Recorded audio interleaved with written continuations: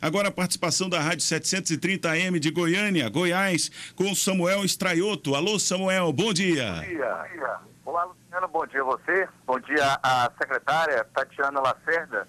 E eu começo com a pergunta a respeito das exportações. Ela, tanto as exportações como as importações, ela aumentou o volume no ano de 2011. Secretária, com o Reintegra, o governo ele espera obter redução no volume das exportações de maior competitividade da indústria nacional e ele também pode possibilitar a obtenção de valores agregados aos produtos brasileiros?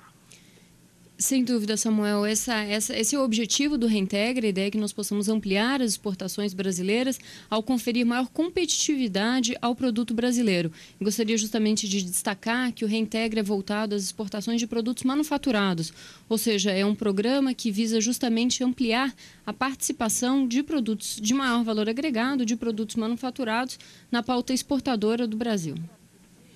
Alguma outra pergunta, Samuel?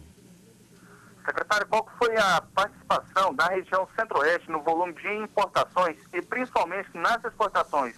E o que, que as commodities agrícolas ela representou neste bolo?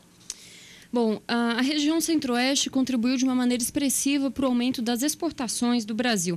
É, as exportações da região centro-oeste aumentaram mais de 33%, acima, portanto, do, do ritmo de expansão das exportações do Brasil, é, que foi na faixa dos 28%.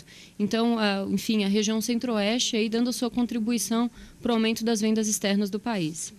Do ponto de vista de importações, você uh, fez pergunta também, as importações da região centro-oeste cresceram 28,8%, também acima, portanto, da taxa de expansão das importações do Brasil, ou seja, a região centro-oeste uh, mostrando seu dinamismo no comércio exterior e sua contribuição para o aumento da corrente de comércio do Brasil em 2011.